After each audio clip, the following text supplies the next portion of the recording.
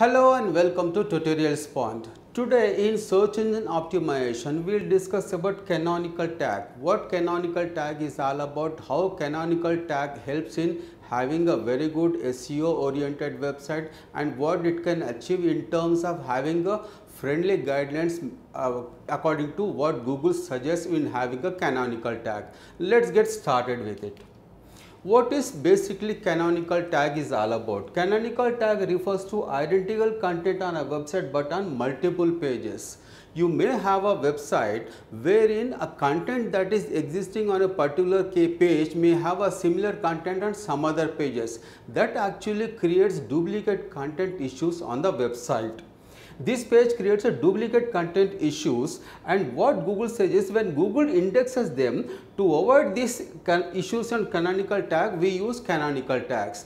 To avoid the issues, concerns and challenges that are related with duplicate content, one page content of a website is existing on another page. When Google indexes them, it creates a duplicate content issue. And to avoid this issue, we use a canonical tag how canonical tag works actually. Now let's check this example. There is a site called example.com.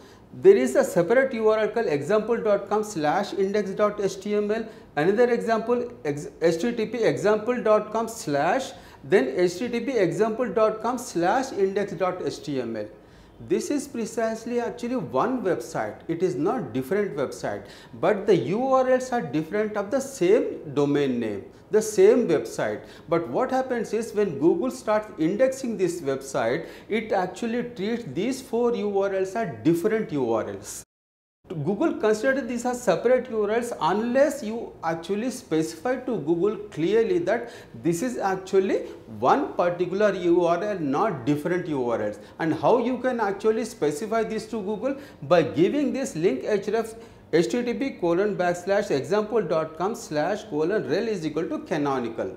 It means this tag has to be placed in the header part of your website on the home page. Once you do this, Google actually treats these different URLs as one URL and this is actually the specified correct URL and this is actually you need to place this tag in the header part of your website and that is the foremost point that you should be doing to avoid these issues and concerns.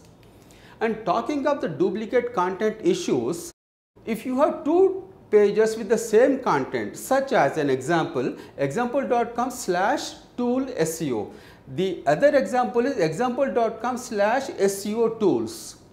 Now these are two different pages but the content on these pages is more or less the same. It is similar content. When you have similar content on two different pages of the same website it creates a duplicate content issue when google indexes them because it, these are treated as two separate pages. And what you need to do is you need to specify to google by giving a canonical link stating which is actually the correct and the right url and which url should be indexed. And this can be achieved by giving this URL link rel canonical href example.com slash SEO tools because you are treating this as an original one meaning if you if you are mentioning that this is actually the best URL and the correct URL and this URL actually need to be indexed so that you can avoid the duplicate content issues on your website. In conclusion what we have seen in this video is what is canonical tag, how rel canonical works and avoiding duplicate content issues on your website. Thank you so much for watching. Hope to see you again.